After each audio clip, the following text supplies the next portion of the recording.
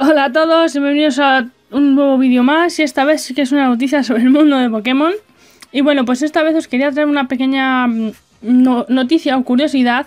En, ya sabéis la nueva aplicación esta que salió hace mucho tiempo de Nintendo mmm, Badge Arcade me parece que se llamaba en la que bueno pues han aparecido nuevas insignias pues pues lo voy a traer no para que al menos pues intentéis conseguir las insignias y personalicéis vuestra Nintendo a, a vuestro gusto no entonces puedo decir que esta semana ya hay nuevas insignias en este juego, ya sabéis que es de free to play, el de Nintendo Baja Arcade, perdón.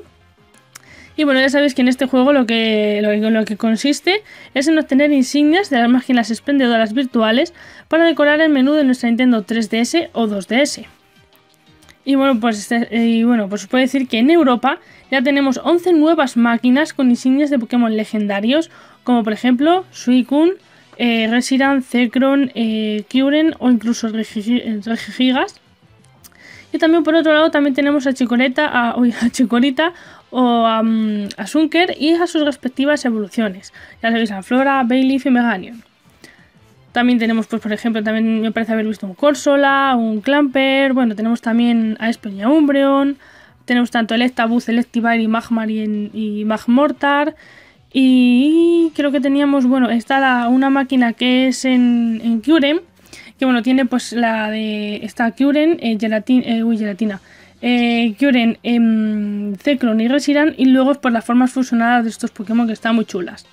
También por otro lado, en América eh, también eh, tenemos, aunque bueno, tenéis vosotros, pues ya sabéis que ellos tienen Europa, también hay nuevas insignias, especialmente con Pokémon pixelados. Aunque no os preocupéis que también eh, las, estas pequeñas insignias, así las interesantes, em, teníamos a Arceus y a Gelatina.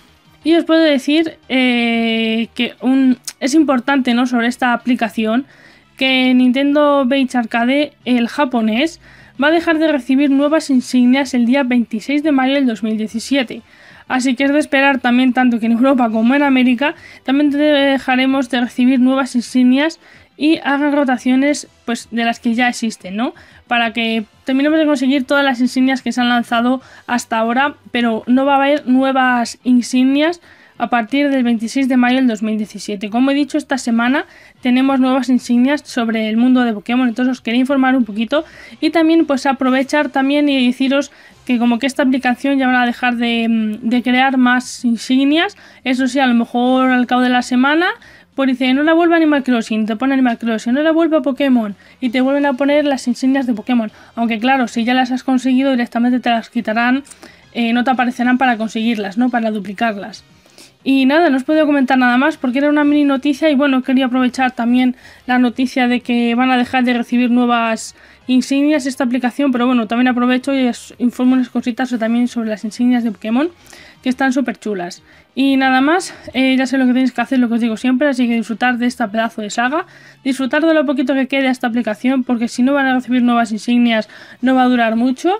Y nada más, así que espero que os haya gustado y nos vemos en los próximos vídeos. ¡Hasta luego!